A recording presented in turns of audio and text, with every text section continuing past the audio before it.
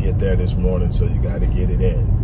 Uh, and I know the longer my day goes, the more exhausted I'm gonna be, and I need to get a good one in. So that's what I'm about to do. In the meantime, I'm gonna take this time on the way up here to initiate a conversation that I may not be able to complete in this sitting, so it may come in two parts, but I'm gonna do it as one upload. Um, there's uh, a lot of media attention given to the fact that despite the fact that the Little Mermaid, uh, Disney's Little Mermaid movie uh, is doing well, it seems, in the U.S. There are certain markets globally that it's tanking in, specifically in the Asian market, uh, ultra specifically China and Korea to this point. And a lot is being made of it. And obviously the focus is on the fact that for the first time ever, the character of Ariel, the mermaid, is being played by a black actress, uh, Halle Bailey. Halle Bailey, excuse me. Um, young uh, artist that seems to be on a, path to do some things uh, in her career. Uh, seems to be extremely talented. Uh, I haven't actually seen it. Um, you know, just me seeing it by myself is probably not going to happen. Uh, but one of my, I'm pretty sure my youngest daughter will probably want to do it, and I'll do it with her. Uh, but with that being said, uh, it's tanking in China, and a lot of people are perturbed about it. And the, the, the go-to is race, race, race, racism, racism, racism. It's so much bigger than racism. Uh, something that Dr. Claude Anderson used to say a lot is blacks stay playing checkers while others are playing chess. Um, the Grand Chessboard, matter of fact, one of the most enlightening books I've ever read by Zbigniew Brzezinski is The Grand Chessboard. Explains so much about global power. But Dr. Dr. Uh, Anderson, we're talking about what was he saying in that? He was saying that we rarely understand what's going on. Rarely are up to date on the behaviors. They are playing at a level we simply are not aware at. We see discrimination. We see the superficial and surface uh, presentations of racial disparity. And the go-to is racism, and we we stop that. We never ask the question, could it be something deeper? And I've tell, told you year in year year in year out that Racism is simply the guardian of the gate of elitism. Elitism is the power structure. Elitism is the thing, uh, is what literally governs what's in the media. Everything like the, it's controlled by the wealthiest 1% of the world. And so race is just an easy uh, spectrum to recognize on site to determine who gets what. And then it goes from there. But everybody's impacted by it unless you're one of the wealthiest 1% who spend billions upon billions upon billions upon billions of dollars to fund think tanks to ensure they remain the wealthy 1%. And it's played out in so many different ways. Now, it's also played out in cultures and races. I'll give you a prime example. We're talking about Asia, talking about China. China has been carrying out genetic warfare on the nation of Nigeria for at least over a decade now. I warned you guys about it when it first started. Nobody listened because they're in Nigeria. We don't care anyway, right? The hell with uh, Pan-Africanism. We got to deal with the ADOS. Uh, foundational black stuff going on in America. Take care of home first. I have no problem with taking care of home first, but you got to be able to understand the way games play. And to do that, you got to be able to see it on a global level because this is a global game. Although they are isolated and in uh, specific pockets around the world where things are done differently based on unique experiences. The, the ultimate goal is global power. The ultimate goal is global control. And if you don't understand how everybody's vying for it, everybody's pushing for it in their own specific way. China's pushing for it, Russia's pushing for it, the U.S. pushing for it, Arab is pushing for it, uh, even Israel is pushing for it. And Africa is the primary source of all of this because it's the most enriched, naturally enriched continent on the planet. So while we're looking at the Little Mermaid, we need to look a little deeper because as probably China's largest customer base outside of China, blacks, we should probably understand how they move and how they operate and what they think about us. First, I'm going to tell you about China and Nigeria. Then I'm going to tell you about a practice in China of, of things that are being done. First, here's this. For the past decade or so, Chinese men have been going to Nigeria and marrying Nigerian women at an alarming rate. And people said, okay, so what's the big deal? Well, here's the thing in China and mostly in Nigeria too, but definitely in China, in Chinese culture, the man is the identity identifying factor. The man is the source of identity for the offspring within the family, and that plays a role when there is a mixed uh, or biracial connection. And so then uh, these Nigerian the, uh, these Nigerian, most likely Nigerian born or at least born to a Nigerian woman, will take on the identity of the Chinese father. The loyalty will be with the father, the loyalty will be predominantly with the Chinese culture. They will identify as Chinese the same way that the vast majority of biracial children in America that are black and any other thing predominantly identify as black.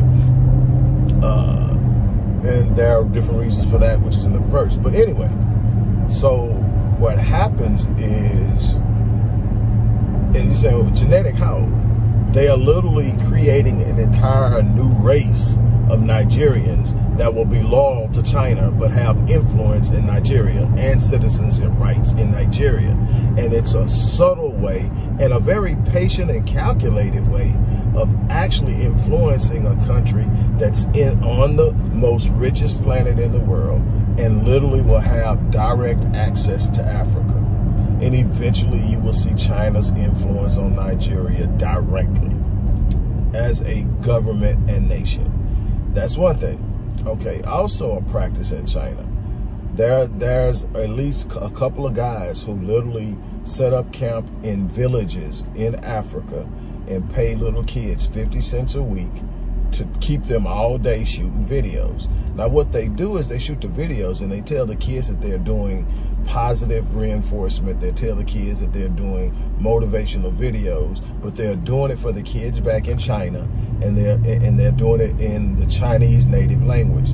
Uh, so more than likely Mandarin, uh, or it could be a couple of other ones, but but regardless, they're doing it in uh, a, a Chinese dialect, and so they'll sit up and they'll say, get, they'll give the Chinese command and they'll get the kids to repeat it. But when you actually interpret it, it's saying, hi, I'm a monster. Hi, I have a low, a low IQ. And then cheer about it. Yay, I have, and I've literally watched these videos. Then these videos are edited and packaged and then sold as fodder, fun, and comedic entertainment in China. This is what they think about it. So you, then you go into, okay, where does this come from? It comes from a constant media barrage of a misrepresentation of blackness in America and blackness around the world. Hardly do you ever see the beauty in black nations. Some of the most beautiful cities in the world are in Africa. Some of the most technologically advanced and architectural, uh, architect, architecturally uh, astounding cities are in Africa. They have cities that rival the most beautiful cities in America, the most beautiful cities in Australia and Europe. Uh, uh, some of the infrastructures are, you know, uh, next level. And you're never going to see those. Some of the most affluent in blacks are in countries like Ghana and you'll never hear about it. You'll never see the communities of blacks living in 35, 45, 5,500 square feet homes and operating and working and handling business. Some of the most astute business minds in the world are in Africa. Some of the greatest hustlers and scam artists too. But that's another story. So in essence, what you're seeing is a very strong disrespect. Now, think about it. We're their customer base. We're showing up at Korean nail shops, getting our nails done. And what'll get me about my people is, especially my Christian brothers and sisters, I love you to death, will go hard in the paint about blacks talking to ancestors, but go sit right in a Korean nail shop, walk right past Buddha and the offering, and sit down in the nail shop and not say a word. Patronize them while they are literally talking about you in your face in their dialect.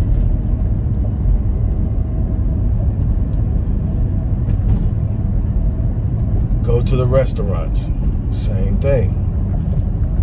My thing is we've got to learn how to demand respect. And demanding respect comes with saying, first and foremost, the thing you value the most, I'm un most unwilling to give you until you treat me with respect, and that's money. That's the thing we give to them most freely, is our money. And then we ask ourselves, why are we handled that way? They don't respect us. They think low of us and they've actually bought into this black intellectual inferiority notion, despite the fact that we're probably actually intellectually superior. If we're going to use the very things they use, like IQ test, the three highest IQs in the world are three black kids. So it's up to us to sit up and say, you know what, I'm not going to sit up and support something that isn't going to take into consideration my peace, my happiness, my respect, my life, uh, that doesn't value me, that shows me in the way they treat me, they don't value me. I am simply not going to do it. Um, got a fly that came in here. I'm trying to get it out. But anyway, I'm about to run in the gym and then I'll finish this when I come back out uh, because there's more to tap in on it, but I don't want to sit here and waste time that I need to be in there. So I will check back in on the other side of this. This is the end of part one. Uh, again, we've got a lot of work to do. On that note, I'm out of here. You guys take care.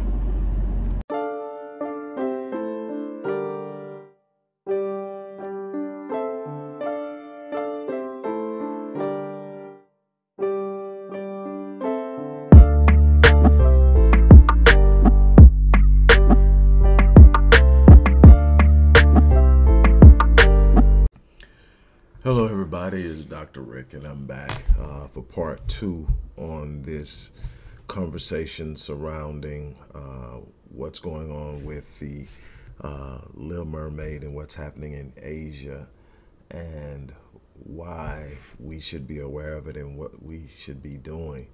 Uh, before I get started, uh, I want to remind you guys, if you follow me, you know that I am doing a webinar on the 30th of this month to teach people how to leverage artificial intelligence, AI, chat GBT, open AI, and a bunch of other things uh, to expand business, grow business, promote business, create revenue, uh, uh, leverage ideas for revenue, but also create strategies to create online entities. Uh, I have the link in the description box to watch the video check it out. Uh, there's also a link if you just want to go ahead and register because I'm going to actually uh, uh, do a raffle where I'm going to draw a name from the people who register and I'm gifting one person my platinum package. That's a year of working with me. Um, so um, definitely sign up. Plus, you're going to get the seven day online business launch course, a $600 course free. So that's in there. I just want to put that out there because time is running out. The registration ends uh, this weekend. So you got the rest of the day uh, tomorrow and Saturday, and then the registration is over, or when the first 50 people sign up. Uh, so if you want to learn how to use uh, AI to I mean, really, really, truly change your life. Uh, no matter where you're at, what you're doing, it's going to play a role. Uh, so I just want to put that out there real quick. All right, let's close out this thing on um, what's going on in Asia. Like I told you, um, China has been targeting certain parts of Africa, specifically Nigeria, uh, for more than a decade. They are literally uh, carrying out a form of, to me, what I consider to be genetic warfare. They are literally uh, sending Chinese men into Nigeria to marry Nigerian women, uh, to create Nigerian uh, children who are Nigerian citizens, but are more than likely going to be extremely loyal to China because the father in these relationships is going to be the predominant uh, source of identity, and they are going to identify with their father's uh, loyalties. And these children are going to have rights within Nigeria and will at some point come of age and have influence in Nigeria and this is a means through which they are doing this. They're playing the grand scheme, like I told you in the first part of this. We keep playing checkers, and everybody else is playing chess. Um, then you you've got all of these different things that we sit up and we don't pay attention to. Let me tell you something. This is a world that moves and operates around money, not morality. And until we get it in our minds that we are going to have to weaponize our dollar, we're going to have to weaponize our dollar uh, in support of things that are pro black, in support of things that empower us, in support of things that give us the knowledge we need to do, but also in withholding our money from those of us who do not act in our best interest. Uh, I said this probably 15 years ago that blacks are the only people in history that literally finance our own demise. We pour money into their economy at an alarming rate, especially in relationship to how much of the wealth we own in this country. We are spending exorbitant amounts of money on crap, basically, and not investing in our future, not investing in our children, not investing in in, in, in, in building businesses and building wealth and building educational institutions that can effectively, properly socialize and educate our children. That's on us. We are losing uh, this uh, socioeconomic war on so many fronts that it's literally ridiculous. And the thing is, it's not something that we are completely out of control of. We are not acting in our best interest. We are partying. And I'm not saying don't enjoy yourself. What I'm saying is there has to be a sense of responsibility, a sense of balance, a sense of accountability to more than just having fun. We are we are leaving the next generation in such a hole and so lost because all we want to do is show that we arrived when we really haven't because the um, median household wealth for, uh, for whites is 177,000 for blacks 14,000 uh, uh, we we haven't arrived. The wealth gap is widening and it's widening because we don't get it. Uh, we are frustrated and getting upset because they don't respect us enough to to watch The Little Mermaid in China. And then someone will say, well, if it's a problem with it being a black person, why can't it be a white person? Because you're, the European has established by way of media that they are the epitome of class, the epitome of power. They have even in other places like Asia said that we are the we are the standard. And while uh, Asians reject it, it's easier for them to see. Plus, it's the original character. When you cast someone black who is constantly uh, uh, portrayed in media as being inferior, as being ghetto, as being violent, uh, as having a low IQ, you get the things that you get. And that's why it's actually big business for Chinese people to go to Africa and pay kids 50 cent in villages 50 cents a week to to gather them together every day and shoot video after video and video of, the, of them degrading themselves in Chinese because they don't speak the language and they are being told that they're saying things that are positive when the truth of the matter is they're degrading themselves. He's got these kids saying, I'm a monster, I'm stupid, I have a low IQ, and all other types of degrading things. I sit up and I've watched this. And then they are going back and selling this for entertainment in China and making a killing. And we will constantly patronize them because it's convenient.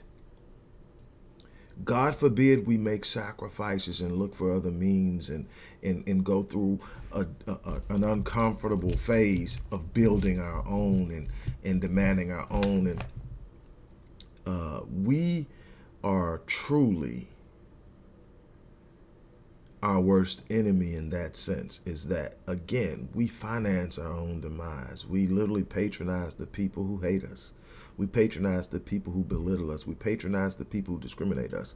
We patronize the people who every chance they get mishandle us. How many times have i seen asians beating the crap out of somebody in their store they suspect of stealing only to find out they weren't stealing but the shop is still there. People still going. People are buying in the store while they're attacking the person.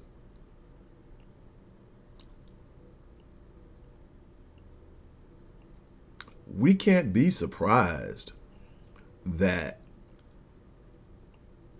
Asia isn't buying Little Black Mermaid. Um, and and, and and and they don't want anything to do with it. It's to them, it's beneath them. Um, they can't see it. Anything that puts a black person in a place of elevation, royalty, uh, is going to be a problem with them because they, number one, don't want us there. Number two, can't see us there. Number three, are doing everything in their power to manipulate, control, and and and, and exploit us, and we're participating. So uh, that's it. Um, I want to thank you um, for allowing me to take your time, but I had to touch on that because everybody's talking about it. Um, we've got work to do. Again, I'm about to get off here. Don't forget, if you want to learn how to use AI, look, go find that link and register. Also, support the work we do here at the Odyssey Project. I've got several things on my desk now. People who are caught up in binds in the system and nobody's coming to their rescue, but they reach out here and we will take care of it. Um, as far as our resources will allow us. It's so much that goes on that that the average person just walks around and completely oblivious to until it lands on their doorstep and then there they are saying hey what do i do? What can you do to help me? And the thing is i get it but we've got to stop. We've got to get ourselves together. We've got to come together. Uh, we've got to do a whole lot better than we've been doing. So on that note look i'm gonna get ready to get off of here. Uh, once again thank you for allowing me to have your time uh, if you want to support the work we do, look in the description box and the information is there. On that note, I'm out of here.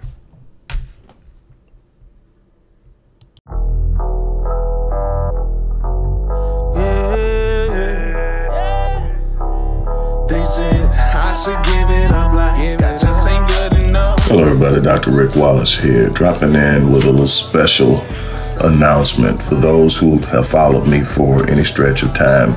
You know, outside of the businesses that I run, like Myriad Business Solutions, the Visionetics Institute, Odyssey Media Group, I also do a great deal of work inside of the inner city communities uh, in Houston, Dallas, and other areas.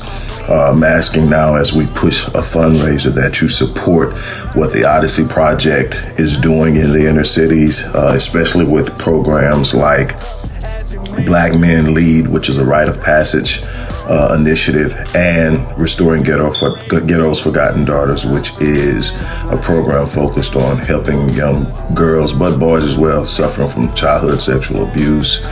uh, rape, molestation, domestic abuse, uh, absentee fatherhood, and so many other things. Uh, the information will be in the box. Thank you.